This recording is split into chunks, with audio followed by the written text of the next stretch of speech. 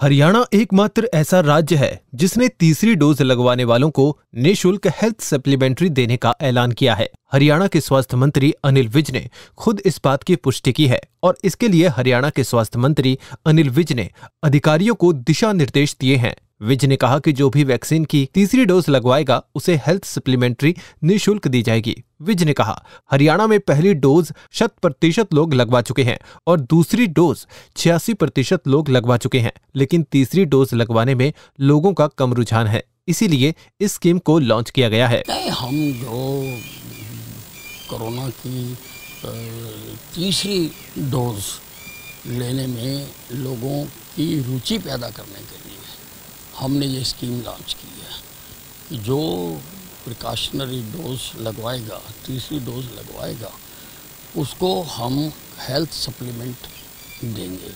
पहली डोज हम शत प्रतिशत लगा चुके हैं। दूसरी डोज हम 86 परसेंट लगा चुके हैं। तीसरी डोज में लोगों का रुझान कम है, उसको देखते हुए हमने ये स्कीम लॉन्च की।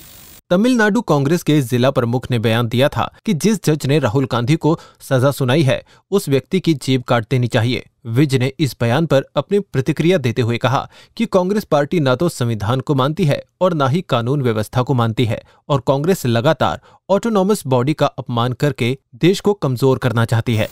कांग्रेस पार्टी ना देश के संविधान को मानती है, ना कानून व्यवस्था को मानती है। और लगातार ये जो ऑटोनोमस बॉडीज़ हैं, उनका लगातार अपमान करके देश को कमज़ोर करना चाहते हैं, देश की प्रजातंत्र को कमज़ोर करना चाहते हैं, इसीलिए ये बार बार प्रजातांत्रिक संस्थाओं पर प्रहार कर ए एआईएमआईएम के प्रमुख असुद्दीन ओवैसी ने बताया कि देश का पहला आतंकवादी नाथूराम गौडसे है। जिसने महात्मा गांधी को मारा था, विज ने इस पर भी अपनी तीखी प्रतिक्रिया देते हुए कहा कि जो सारा समय आतंकवादियों में रहता हो, उसे हर आदमी आतंकवादी ही नज़र आएगा। बात यह है, जो आदमी सारा दिन आतंकवादियों में रहता हो, उसको तो हर आदमी आतंकवादी नज़र आएगा। ऐसी ही तमाम खबरों के लिए आप देखते रहें अंबाला ब्रेकिंग न्यूज़। आप हमें फेसबुक पर लाइक करें यूट्यूब पर भी सब्सक्राइब करें और अपने एंड्रॉइड के प्ले स्टोर और एप्पल मोबाइल के ऐप स्टोर से हमारी app Ambala breaking news download करना ना भूलें।